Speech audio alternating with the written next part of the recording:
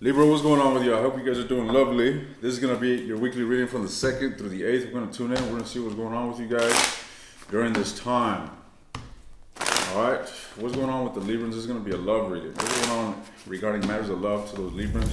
That are tuning in, let's get two more shuffles and let's get a general overview. Get a potent message, clarity of guidance for those that are tuning in. All right, the High Priestess at the bottom of the deck. Ooh. Damn, ladies and gents, let me show you what I'm seeing here. The High Priestess, this is all about silence. This is all about a very difficult ending that has ensued, possibly because of deception. All right, someone here took some very sabotaging actions towards another that resulted in an absolute fiasco. But interestingly, the first two cards out of the deck, or rather the first three cards out of the deck signifies that there's gonna be movement. Someone here is gonna wanna communicate one thing to note is that we got three court cards, okay? This doesn't necessarily have to signify three people, but it could very much be that. So let's see what's going on here. What, what is this page of coins doing here? What's with this page of coins? Ten of coins, or rather the ten of cups. You see, someone here is coming forward, wanting to bring about the opportunity to move a situation toward emotional expansion. Someone here is wanting to be vulnerable, Libra.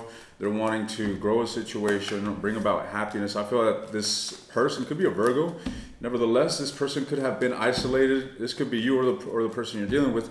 Someone here was isolated and and I feel that that's changing. I feel like this individual is coming out of the fucking dungeons is really what I'm getting the sense of. All right, the hermit, the hermit clarified by the fool.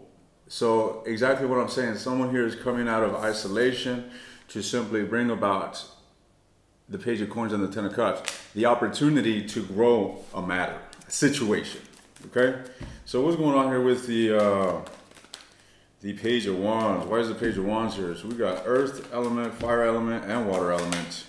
Queen of wands is clarifying the page of coins, or rather the page of wands. So what I'm saying here is that there's most certainly a dichotomy here in regards to maturity, or you know what what each person is bringing to the table. Look at that, the Empress just flew out. So again, I feel that somebody here is wanting to explore a relationship and they're wanting to grow it. However, like I said, there's a notable dichotomy between two people, and it's as if someone's really gonna have to step up their game. Ten of Wands. Someone's really gonna have to really step up their game to bring forth the necessary energy to match the person that they are dealing with. I feel that someone, to be frank, I feel like someone's got to be won over. I feel like this Empress is not in the best state here in regards to their person, and I, I really get getting the sense that this page is someone here that's gonna have to step it up. All right, but is there is there potential? Most certainly. I keep seeing the lovers here uh, peeking out. All right. However, I feel as if the relationship finds itself in a state where, look at that, the lovers again all right, I'm telling you, there's most certainly a sense of unity or a connection rather. There may not be great unity, but there is most certainly a great connection on an emotional, spiritual, mental level. You people are definitely connected with one another, even though there's this difference, even though there's a lack of contentment. However, the motion of the ocean is coming forward here, Libra, with the Knight of with the Knight of Cups. This is someone here that is wanting to express their feelings. Furthermore, this individual is wanting to express that they're wanting to be in something a little more stable, commitment. Someone here, in other words, is making an advancement towards stabilizing a relationship. That's really what I'm seeing here. All right. Let's see. I mean, I could have been describing you the whole time. What's going on with Libra and what is their energy towards whomever it is that they're dealing with? What is Libra's energy towards whomever it is that they're dealing with? Let's get two more shuffles.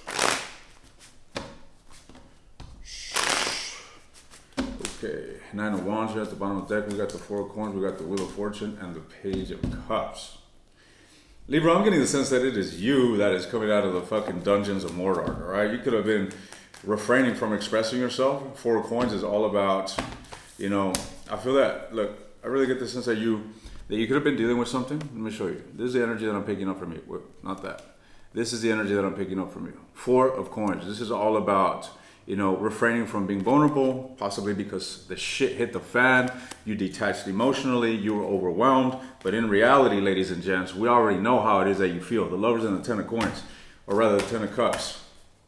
So Libra, you know, with the Wheel of Fortune succeeding this four of coins, I get the sense that you're opening up. You're opening up. That's really what I'm getting here.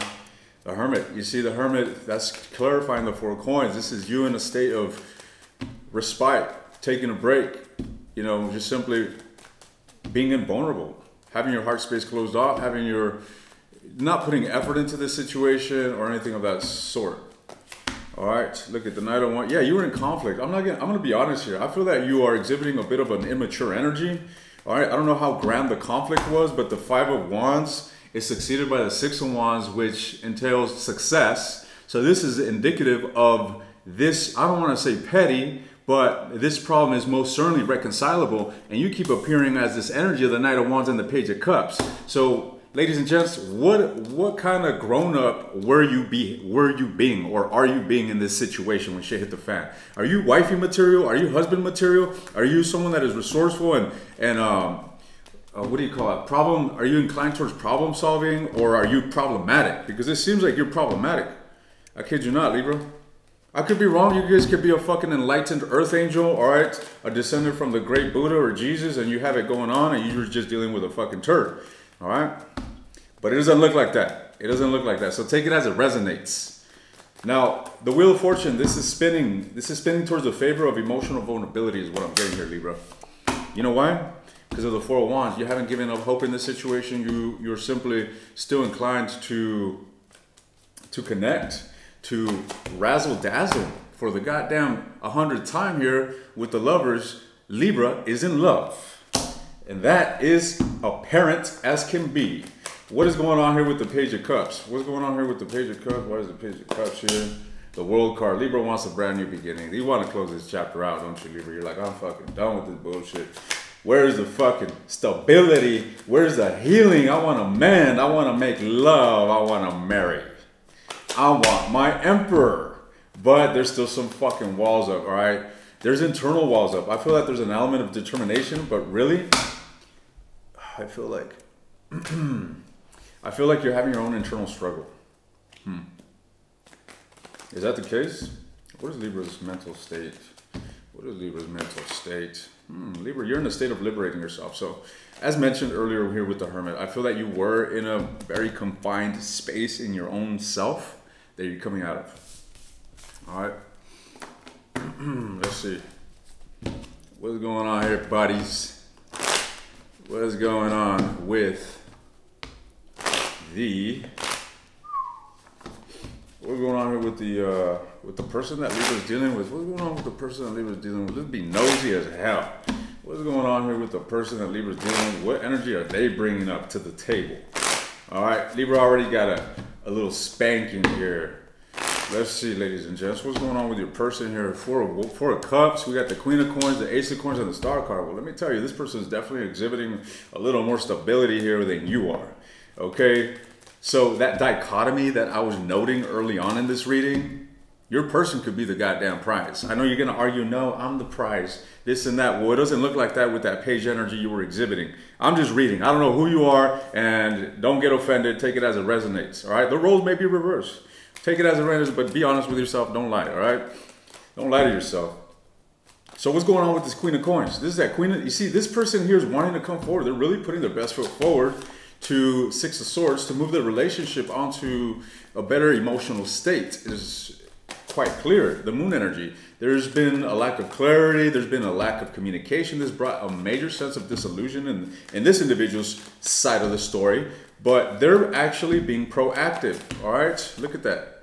Knight of Swords. They're being proactive, which leads us to the Ace of Coins.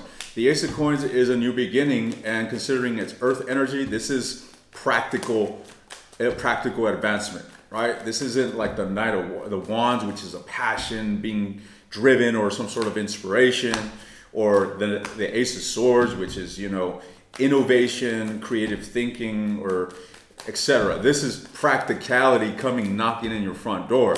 That's what this individual is coming forward here with. Look at this, and it's emotionally charged. The Ace of Coins clarified by the Ace of Cups, Libra.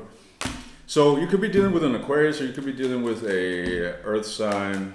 Nevertheless, nevertheless, your Libra, what I'm saying is that the star card. So this person here is is wanting to heal. Is wanting to heal. You see, the star card is all about using the uh, the faculty of imagination in order to formulate some sort of thought, the lovers, in order to formulate some sort of thought into the future, right? People call it wishful thinking. Sure, you could call it that, hope, whatever. It's just someone here envisioning a future, all right? And I feel that this future that this person has in mind is one of balance, clarity, things of that sort, stability. So they do want to be with you, but it's quite apparent that you guys are single. You guys are definitely not in a commitment with this individual. All right, tell me more. The aces, or rather the five of swords. Yeah, there's definitely some healing that needs to take place before you guys can move towards reigniting that passion between you guys. What is the potential here? What is the potential in this relationship?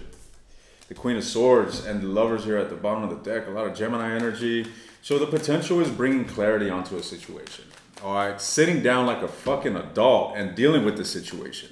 All right, laying things out on the table, being vulnerable, be, giving your point of view. You see, a lot of times we have conflicts with our partners, with our significant others, and we each have our own personal perspectives of what happened. And you can be mad about a situation and this individual is bothered by the same situation but through a completely different angle. So it's like there needs to be a sense of truthful and vulnerable communication between two of you. And that's exactly what the potential is is coming out of this energy coming out of this energy of the high priestess communicating truth on board here.